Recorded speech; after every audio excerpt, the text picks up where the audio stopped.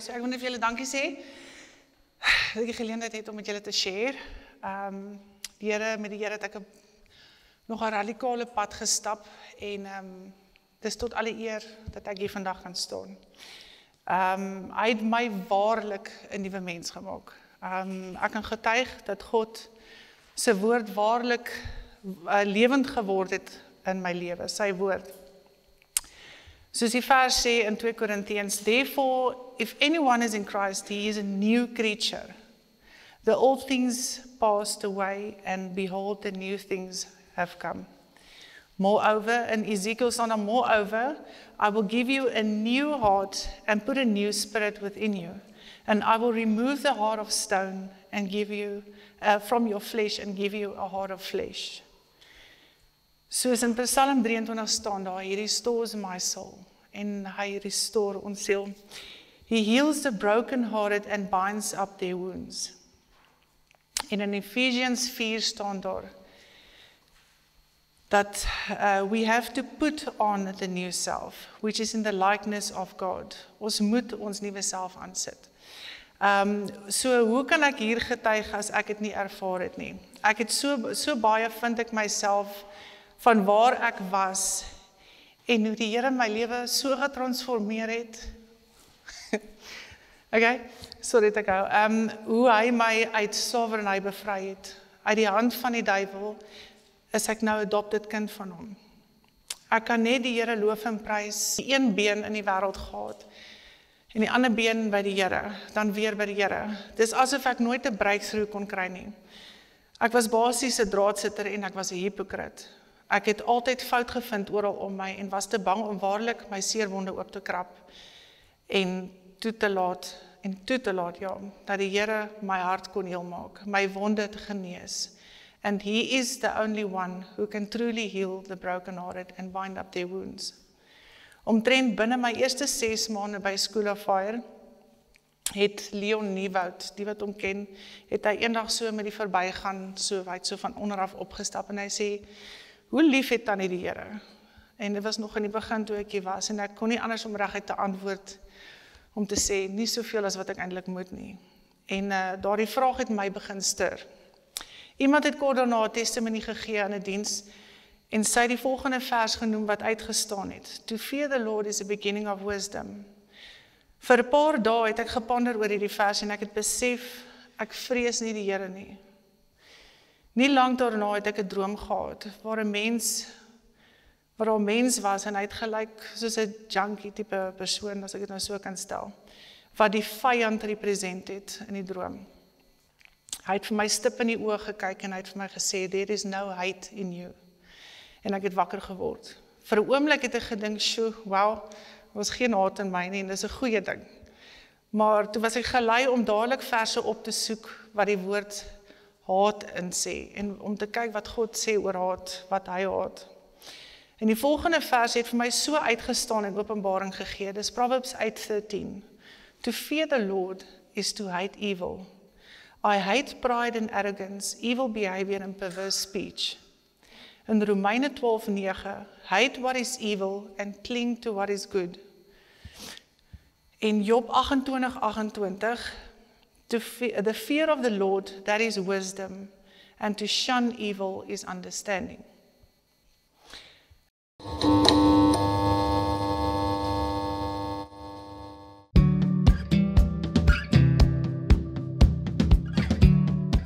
Miracle Place. Wat is The Miracle Place? Jy kan op Facebook gaan kyk en follow The Miracle Place. Miracle Place kan jy na toe kom vir die volgende redes. As jy drug addict is, as jy 'n issue het aan selfoon verslaaf is, jy's aan suiker verslaaf, whatever jy aan verslaaf is, jy kan kom inboek vir 'n maand, jy kan inboek vir 'n jaar, jy kan inboek vir 6 jaar. Maar kom na die Miracle Place. Ons skep vir jou hier 'n omgewing vir Jesus Christus en dan kan jy hom aanneem en uit Miracle Place uit, the Miracle Place. Vat ons die mense en ons oreed hulle of hulle dan nie wil vir sendelinge gaan nie en 'n bietjie 'n stappie verder gaan nie. Wat the Miracle Place ook bied is baie keer net 'n fire miracle event. Dis sommer net vir 2 dae. Wat jy kan kom en as jy wil vuur van God hê, dan kom kry jy sy vuur. Nou uh, natuurlik kan jy net vuur kry en dan gemaak jy hom weer dood en kom kry vuur. Jy moet dit blywend hou met die woord van God. Maar jy kan hiernatoe ook mense bring wat kanker het. Uh hulle kom boekie in nie, maar hulle uh kry daai miracle en fire events. So hou dit dop op the Miracle Place se Facebook en as iemand siek is, kom daai 2 dae en kom dat die persoon gesond raak. Julle is so welkom. Volg ons, die Here seën.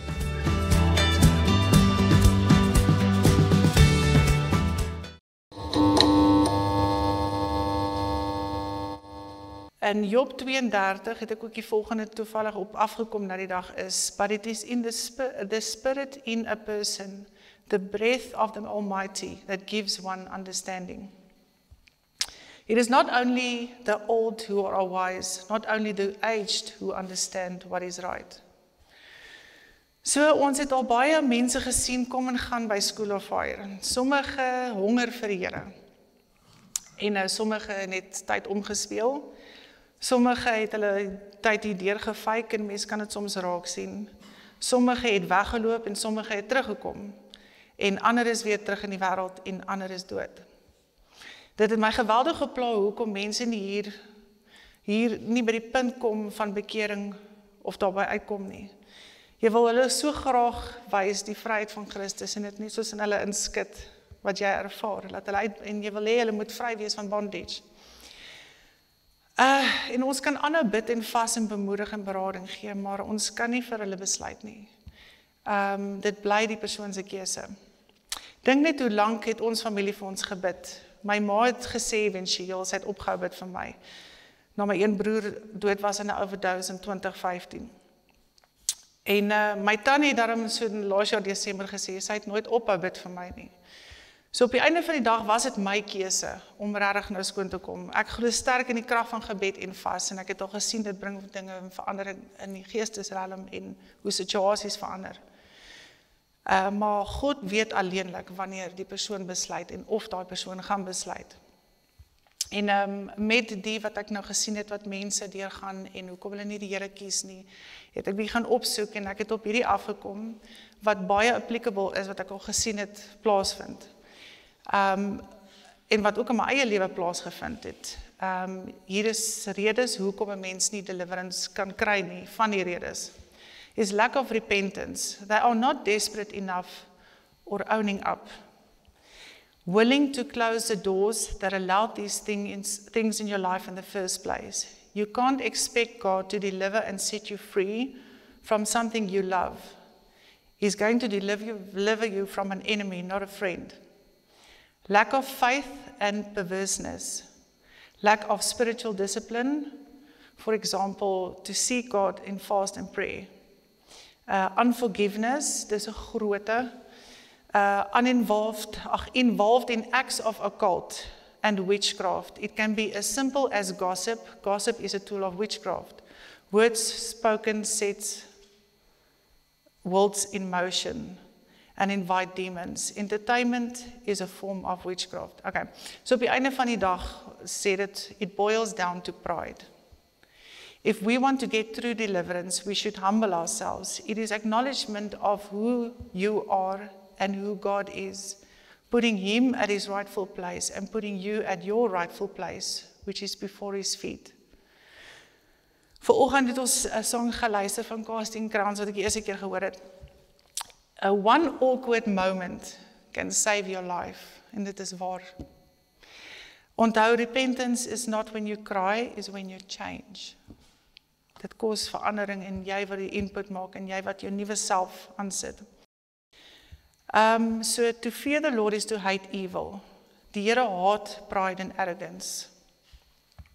Evil behavior and perverse speech. Gister het ons dames 'n baie mooi sang gesing by die bediening, ehm um, waar ek en Maritza en almal was wat gesing het humble yourselves in the sight of the Lord and he will lift you up.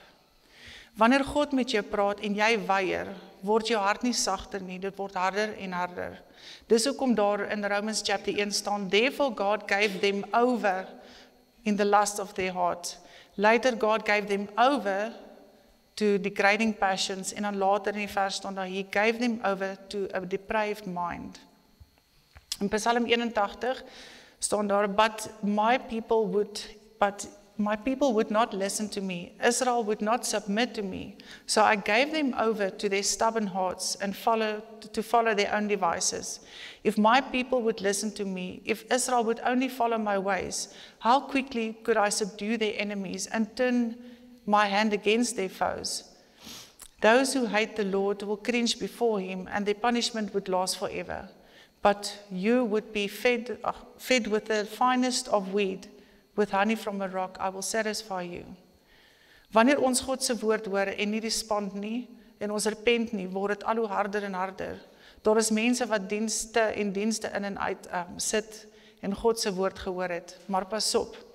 As daar daar is 'n gevaar daaraan. Ons kry 'n geleentheid elke keer oor en oor. Maar as jy nie gehoorsaam is nie, nie bekeer nie, word jou hart gevoelloos en jy begin interesse te verloor in Bybelstudie.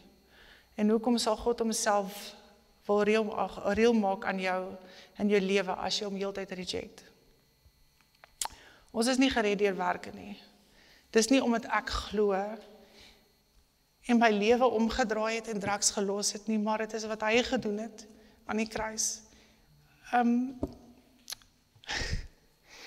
uh die hy die ultimate sacrifice gedoen deur sy lewe te geoffer het dat hy opgestaan het die dood oorwin het dis deur sy bloed wat ons victory kry in ons lewe en um, ek kan nie meer my lewe onding sonder die Here nie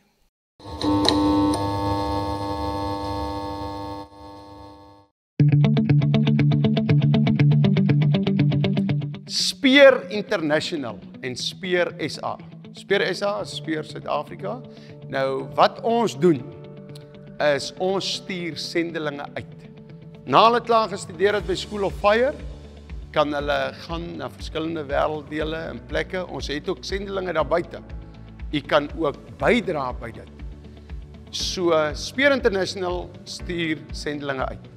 Maar wanneer ons in School of Fire studeer en die ou bring sy kant en hy munt uit, dan raak hy 'n speer soos ons dit noem. En dan is hy speer SA. En dan bekwame hom vir 'n sendeling, 'n pastoor, 'n evangelis, 'n beraader, maak nie saak nie, in werk vir die Here. Maar mense daar buite het baie keer ondervindinge jare al vir Jesus. Hulle het nie 3 jaar gestudeer nie, maar hulle wil ook graag sendelinge raak, maar hulle kan nie vir 3 jaar kom nie. Dan bel jy ons, ons het 'n onderhoud met jou en jy kan round off kursus kom doen hier by Speer International en dan kan ons jou ook uitstuur. Maar dit kan jy nie deur 'n e-pos adres hanteer nie. Jy bel ons. Daar is twee nommers op die skerm. Dit is myne en Andre Strauss se nommer. Bel ons en ons praat met jou. God seën.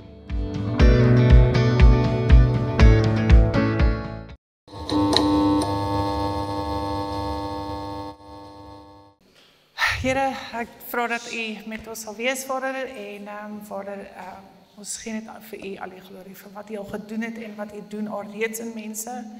En uh, dank Here vir vergifnis en uh, dank Here vir U oneindige liefde vir ons. Amen. Amen. Okay. So vandag gaan ek praat oor vergifnis. Vergifnis is een van die mees krusialste dinge om te uh, doen vir deurbraak in jou lewe. Dit kos jou salvation en ewigheid. Ek het laas jaar 'n gesprek met 'n walde gehad waar dit ongedraai het in 'n 'n gebed in en waar die Heilige Gees iets uitgewys het in my verlede waar ek nog nie waar ek soos ek het my eksman vergewe maar ek het nog nie ware vergifnis ervaar nie waar dit in die gebed waar hy 'n situasie gewys het en ek het nie eens geweet dit was iets wat 'n probleem was nie. Maar die Heilige Gees weet mos ons diepste dinge. En uh toe ek letterlik in die geestesraam het ek gevoel soos so kap soos daar gaan ketTINGS los so op al twee arms. En um toe besef ek die groot ding wat vergifnis beteken in 'n mens se lewe en wat dit doen en hoe jy nog geboei kan wees al is jy 2 jaar op skool of vaai, jy kan nog steeds daai las van onvergifnis dra. OK. So ek kon my eksman vir eerste keer waarlik vergewe. In gebede kon ek makliker vir hom bid vir sy salvation en daar was geen kwaad seer of bitter gevoelens nie. Ek was vry. En deur een oproep na die dag het dit dadelik ou seer en kwaad gevoelens opgebring dat ek nie eers gedink eers dink om vir hom te wou bid nie. Ehm um, ons vergewe maar daar is 'n dieper wond wat agter vergifnis lê waar die emosie nog wys dat jy seer het. Ou wonde wat opduik. Byvoorbeeld, 'n persoon sê vir jou iets wat jou kwaad maak of seer maak. Dit bring weer emosie terug iets uit jou verlede, die emosie van verwerping, van minderwaardigheid, van vernedering en bitterheid. En so as nog iemand byvoorbeeld by by School of Fire jou skel, dan kom daar dieselfde emosie op waar jy verwerp voel minderwaardig of verneder. So om iemand te vergewe is 'n konstante 70 maal 77 keer proses. Ons kyk nie vanaf 'n goddelike perspektief dat die persoon wat jou te nagekom het, ook seer het en nog in die wêreld is of leef in God wat God behaag nie. Ons wie is ons om te judge vir die wat buite die kerk is? In Korintiërs 5 staan daar: It isn't my responsibility to judge outsiders, but it certainly is your responsibility to judge those inside the church who are sinning. God will judge those on the outside. Onthou hulle lewe nog in die wêreld. Jesus en Stefanus het voor hulle gesterwe het gesê: "Here, vergewe hulle want hulle weet nie wat hulle doen nie." Dit het Stefanus gebid voor hulle hom gestenig het. En Jesus het dit gebid terwyl hy aan die kruis gehang het. Jesus het op daardie oomblik aan die kruis deur sy pyn en lyding vir almal ingetree in gebed. En vir God om jou te vergewe. Want hulle het ook nie besef wat hulle doen nie. Ek hou van die saying wat ek eendag gelees het, the only one qualified to throw a stone didn't en dit was Jesus. Jesus is die was die enigste sondelose mens geregtig om 'n klip te gooi en hy het nie. Om te nie te vergewe nie kan jou salvation kos. Die Here sê in Matteus 6 hoe ons moet bid. Forgive us our sins as we forgive them that sins against us. En later verduidelik hy om te sê for if you forgive others their sins, your heavenly Father will forgive your sins. So die Here kan nie vir jou vergewe as jy moetswillig weier om iemand te vergewe nie. Ek myself was 'n gemors. Ek het seer gemaak, ek het geskei, ek het doodgemaak, ek het 'n abortus en dit was alles van dwelms. In albei van my swangerskappe was ek op dwelms. Voor ek my seun gehad het in 2006, het ek in 2004 drie dogtertjies geaborteer wat in een swangerskap was. Hulle was in twee plasentas, in die een plasenta was die een was sy normaal, een dogtertjie en in die ander plasenta was daar twee baba fetusse wat nie heeltemal uitmekaar uitgesplit het nie. Hulle was abnormaal. En deur toe ek nie hard genoeg gevat het vir die abortus om die abortus te stop nie wat ek wou, maar ek was te bang. En toe het ek vinnig ingegee toe my pa sê ek was nie in die kondisie om te besluit om 'n besluit te neem nie want ek was hoog. Op amper 5 maande swangerskap het ek 'n cesarean gehad en hulle geaborteer. Ek was op heroïne toe ek swanger was met my seun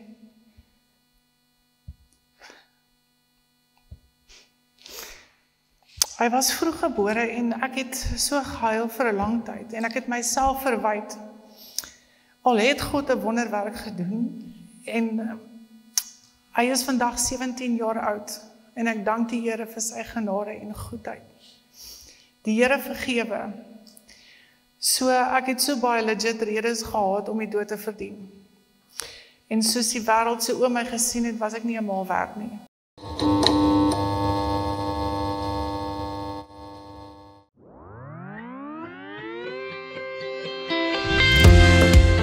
Prys die Here. Ek wil jou uitnooi na School of Fire toe. Nou wat gebeur by School of Fire? Jy kan menigte dinge hier doen. Jy kan vir 'n pastoor kom leer vir 3 jaar lank of jy kan vir 'n beraader kom leer. Jy kan vir 'n evangelis Jy kan jou bekwam om vir God te werk. Jy kan ook 'n gap jaar vat. Maar nou het ons ook gap seisoene. Dat jy net vir 3 maande kom en net 'n grondslag in jou lewe kry, 'n fondasie kan kom bou by School of Fire. Die nommer is nou op die skerm. Al wat jy moet doen, jy moet net jou e-posadres sound toe WhatsApp en ons stuur vir jou inligting. Jy kan ook na die inligting vir ons bel en 'n bietjie gesels en ons kan hierdie ding uitmekaar uitsit. Daar's ook 'n volonteer afdeling wat jy op die plaas by die krokodille kan kom werk. Hier's ook ander afdelings. Uh daar is kamerawerk, daar's klankwerk. Ag daar is baie om op te noem. Daar's leerwerk, daar is materiaalwerk om rokke te maak. Jy kan hare doen, jy kan naels doen. Baie verskeidenheid goed wat ook baie prakties is. Skakel ons en ons kan met jou gesels by School of Fire en ons het 'n baie mooi trek rekord. Jy kan ons ook volg op ons page van School of Fire. Nou ja, die nommer is op die skerm. Stuur nou jou uh e-posadres met 'n WhatsApp en kom join School of Fire. Nie 'n goeie vrou nie en dat ek 'n moordenaar was en dat ek nooit sou regkom nie. Ek het verdien om te sterf. Maar Jesus het my anders gesien. Deur repentance is ek vergewe. Deur sy bloed is ek skoon gewas. Was dit regverdig? Nee. Het ek dit ek het dit glad nie verdien nie. Maar hy het my regverdig om die ewige lewe te verdien. Um, hy het my geregverdig om die ewige lewe te verdien. I will greatly rejoice in the Lord, O my soul. O my soul shall be joyful in my God, for he has clothed me with the garments of salvation, and he has covered me with the robe of righteousness. Okay, uit my eie en deur meeste van julle lewens kan ons getuig dat ons nie dat ons die was wat ander te nagekom het. Soveel mense en het verhoudings seer gekry en ons het doodgemaak en ons was hipokrits en leenaars. Dit was my baie moeilik om myself te vergewe, maar jy geweet nêrens in die Bybel staan daar dat ons onsself moet vergewe nie. Ja, ons is die een wat toelaat dat ons onsself heeltyd aankla oor ons sondes wat ons gedoen het. Maar God sê dat ons van ons sondes moet bekeer. Bekering is die weg wat vir ons gegee is om vry te kom van ons sondes en vergifnis daarvoor te ontvang. In Lukas 3 staan daar and Jesus went into all the region around the Jordan proclaiming the baptism of repentance for the forgiveness of sin. Repentance in a nutshell beteken feeling sorrow or regret of doing something wrong and then to change your mind en dan om Jesus te volg. In Handelinge 3 vers 19 sê Petrus repent then and turn to God that your sins may be wiped out. If we confess our sins, he is faithful and just to forgive us and cleanse us from all righteousness. But I must bear fruit in keeping with repentance. In Matteus 3 vers 8 staan dit. Met ander woorde, ons moet wegdraai van sonde en aanhou wegdraai van sonde. So ek wil net afsluit Onthou ek en jy en die mense wat jou te nagekom het. Ons almal is deur een God geskape. Jesus het vir die hele mensdom gesterf, sy bloed gestort, a once and for a, and complete sacrifice vir elkeen van ons. Die Here het ons vergewe hoekom en dis hoekom hy ons by op aarde was. Hy het ons so lief gehad wanneer ons nie verdien het om liefde te ontvang nie. Ons is in 'n mate verantwoordelik vir ander se salvation. Jesus het 'n duidelike opdrag aan sy disippels gegee toe hy die Heilige Gees uitgeblaas het in Johannes 20. Receive the Holy Spirit. If you forgive anyone's sins, their sins are forgiven. If you do not forgive them, they are not forgiven. Jesus sê ook, be merciful as your Father is merciful. Um, ek gaan ons gou afgesluit in gebed. Deur net hierdie skrifte vir julle lees. Lord, give us this day our daily bread and forgive us our debts as we have also forgiven our debtors. Forgive us our hidden faults. Keep us, your servants, also from willful sins. May they not rule over us. Then we will be blameless and innocent of great transgression. Amen.